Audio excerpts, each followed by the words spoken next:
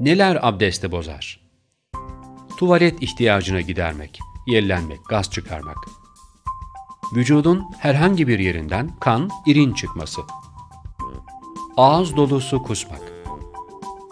Ağzından tükürük kadar veya ondan daha fazla kan akması. Uyumak. Bayılmak. Namaz kılarken yanındaki duyacak kadar sesli gülmek. Şafii mezhebine göre tuvalet ihtiyacı hariç vücudun herhangi bir yerinden çıkan kan, irin vesaire abdesti bozmaz.